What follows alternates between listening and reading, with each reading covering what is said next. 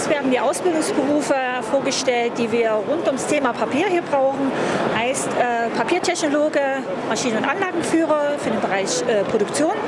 Im Bereich Technik äh, suchen wir Auszubildende äh, Elektroniker, Betriebstechnik und Industriemechaniker. Und auch für den kaufmännischen Bereich suchen wir für 2024 den Industriekaufmann, Industriekauffrau. Sowieso ist Papier ein zukunftsträchtiges äh, Produkt.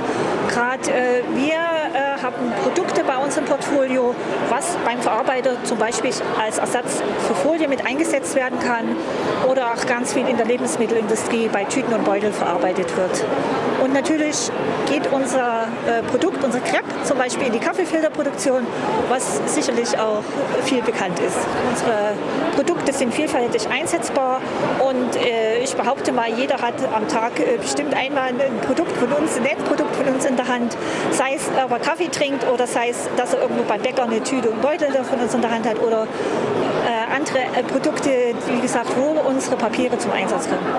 Also gut wäre natürlich für den Ausbildungsberuf ein, äh, guter Realschulabschluss oder ein guter Hauptschulabschluss. Der Schwerpunkt liegt ähm, bei uns ein bisschen auf den naturwissenschaftlichen Fächern und ähm, ja, motiviert sollte natürlich ein Auszubildender sein. Äh, man kann auch unser Unternehmen noch mal gerne beim Woche der offenen Unternehmen äh, kennenlernen und kann dort Rundgänge machen, um sich auch noch mal nähere Informationen einzuholen und zu schauen, wie sieht es denn bei uns aus und was kann denn bei uns ausgebildet werden.